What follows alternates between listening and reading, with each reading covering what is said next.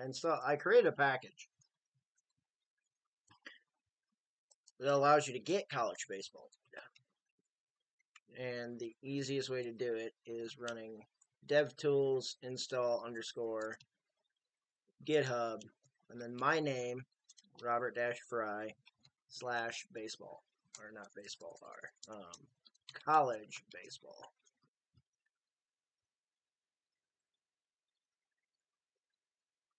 And I'll just say force equals true so I can show you what that would look like. So we're just, I'm re-downloading the data or installing the package for you. So it should run, shouldn't take too long if at all. There you go. And then what we can do with this is then call our library college baseball.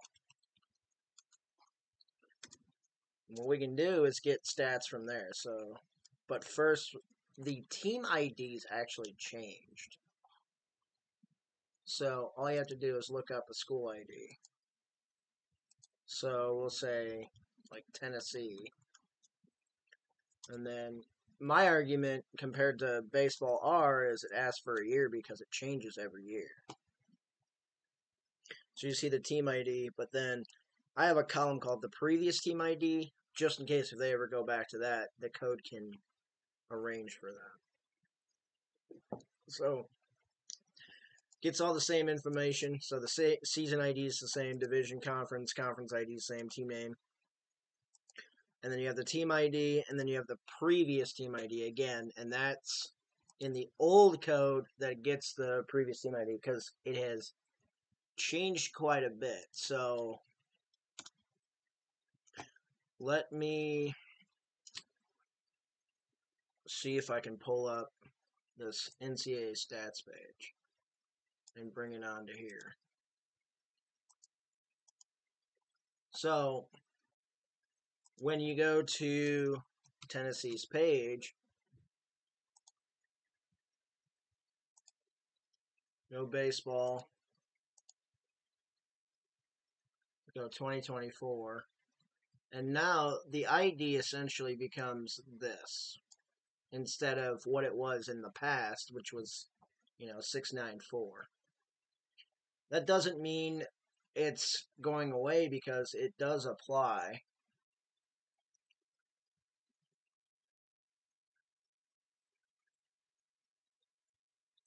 In other situations and I'm trying to think of one where it does apply but so the ID has just became a little bit different now. Um,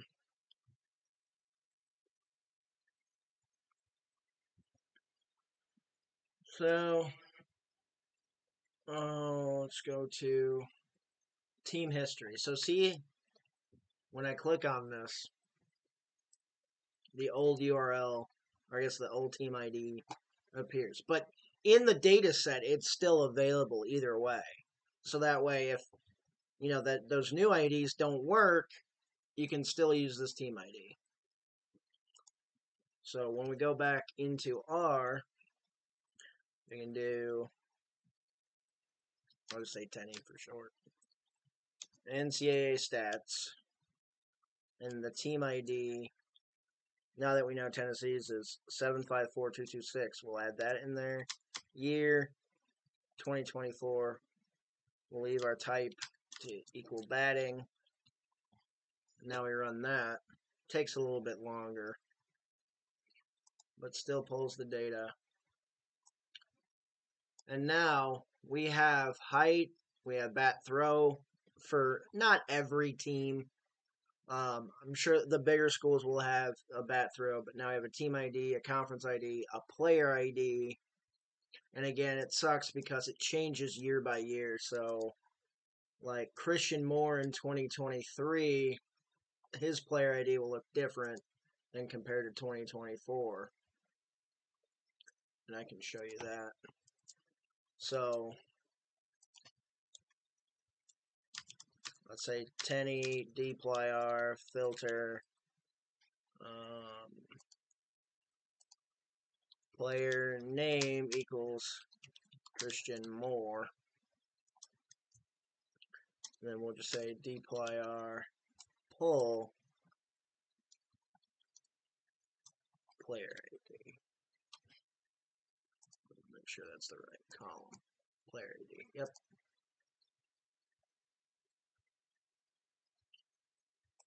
So let me add in dplyr in the libraries. And it'll give you messages, so on and so forth. But it's not an error.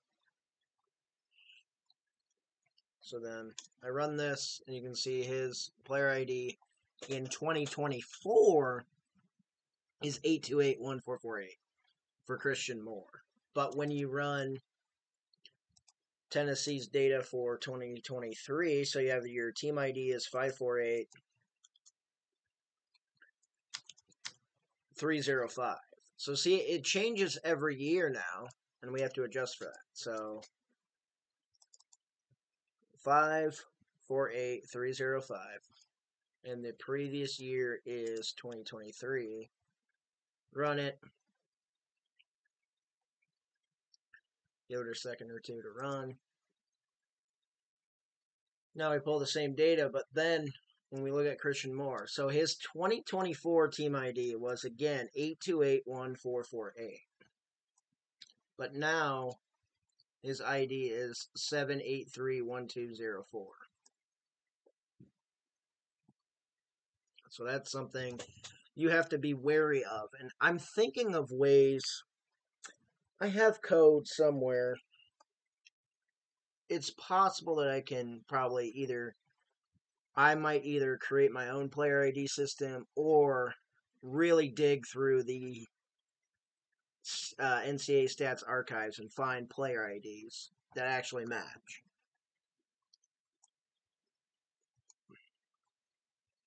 But that this is how you would get stats. Again, download the college baseball package by running this code taking out the comment. So DevTools install underscore GitHub my name college baseball. And it gets you like, you know, some neat information. So that's kind of like the basic stats you can get, but you can get like available savant games for college baseball. So I'll just call this HH, call whatever you want. And so what this pulls from is from 2017 until this past season, some games will have StatCast data available. And so you can pull that StatCast data. Eh, but, however, some games may not. Want to double check because some, like, I'm pretty sure the Salt River Fields at Talking Stick don't. Brazell Field at GCU Ballpark will not. Sloan Park, I don't believe, has it either.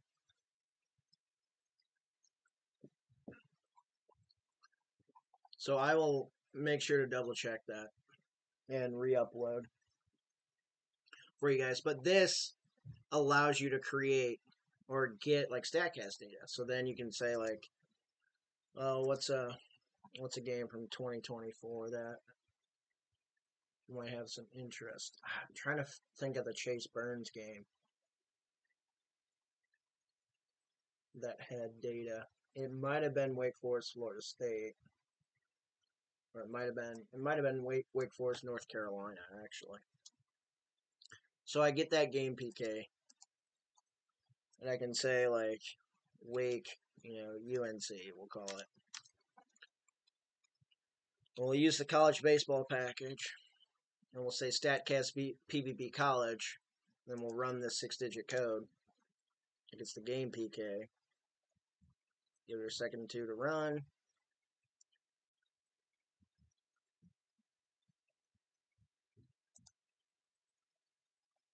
and then you have StatCast data for that game. So you get Chase Sprague, you get Chase Burns' data from Wake Forest, And again, this is only for a limited amount of games. It's not for every single team. Uh, some places will have Statcast data. So, like one advantage that we have is like okay, you have the Las Vegas ballpark, so like all the AAA fields that teams may play at, there's likely to be Statcast data now because every AAA field has Statcast. So like one example is Las Vegas ballpark, um, Smith's ballpark, which is also the home ballpark of Utah. So really, we have mostly Utah data because that's their home field. But then if you go to other places like Durham Bulls Athletic Park, AAA for Durham, they'll have StatCast data. Um, your typical um, Globe Life field, StatCast data. Truist field, again, AAA field, StatCast data. Um, Baycare Ballpark does have StatCast data, though it's not a AAA field. It's I want to say it's either a high A or a rookie league field, but it does have StatCast data when you play there. And the American Athletic Conference conference tournament was there, so we got StatCast data for those. Um, what are some other places like PNC, West Virginia, and Pittsburgh? They played there, so there there's data there. Um, Dodger Stadium, though, I think they took it down. Let's check. So we'll check one of these games. Because realistically, even though it may be played at a an MLB stadium, oh, looks like the data's still there. Cool.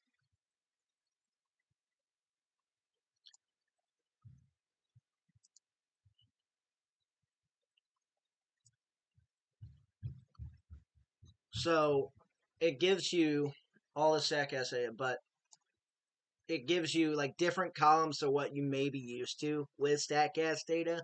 Because again, like if you go through the columns on Baseball Savant, um, exit, you know, exit velocity is listed as like launch speed, whereas this has two columns, so it's rounded hit speed and then just hit speed with a decimal. And then we have a player name, we have hit distance, XBA, um, hit angle, barrel, hit coordinate X, hit coordinate X in feet, and then hit coordinate Y, and then hit coordinate Y in feet. And then here's an interesting one too with the data that's in there. If it's played at an MLB ballpark, it'll tell you how many ballparks would have had that as a home run. Now, you see the column bat speed. There's some bat speed. There's some bat speed, but not a whole lot. A lot of missing data with bat speed. Just be wary of it. Don't expect a lot of data with bat speed. But there is bat speed for college level games at a very limited level. And then it tells you if there's a runner on first, runner on second, runner on third, which I think is useful. Um, very uh, various other things. So game total pitches, you know, what player, how many total pitches he has, um, from each pitch type, as well as you know this pitch number, ball and play out, and then there's this neat little column called is sword, and so we can calculate that, you know, using false or true with is sword so that, that's something really interesting to see. Something that is in here that isn't in your baseball savant statcast data set is your induced vertical break. So the induced break Z. So the StatCast data set from MLB and AAA, so the minor leagues as well, it has this, but it doesn't have it for that particular um, viewing ship. And then you have your just your break X, break Z, and then your movement as well. But then it's saying like with gravity and then with gravity nice, which is essentially just rounding it. Then it shows you like the direction. It shows you PFX with gravity, and then PFX with no absolute value, so it's not rounded, so it's not saying like, oh, this player got 16 inches of movement, this player got negatives, because it's based upon, again, catcher's view. So it's going in the negative direction. Or no. Yeah, catcher's view. It's going in the negative direction. And it even shows you, like, the type of direction that it's going in as well. Um, so that's that's neat. Gets your acceleration, so your x zero, y zero, z zero, x, a, y, a, z. You know, vx zero, vy zero, vz zero. Your px and your pz. It's got your spin rate. It's got the zone that it's in, plate time. You know, your your normal things. It's just might be slightly different in terms of column names. Extension, the bottom of the strike zone, the top of the strike zone, you know, start speed, end speed, balls and strikes, um, is strike swinging, pitch call, result code, description, um, pitch name, pitch type, call name, call, and then if you want to do like a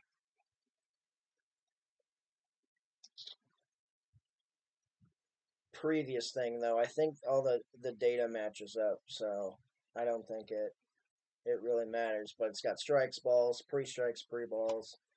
Again, feel free to play with it however you want. Then you have events, you know, the, the short description, result, team fielding ID, batting ID, team fielding, team batting, pitcher name, what hand they throw with, the batter name, what hand they're standing with, batter, outs, um, captivating index, which I'm not exactly sure what that column means. At bat number, inning. So it allows you to get all that play ID as well. So this would be useful at the major league level in terms of it'd be useful to get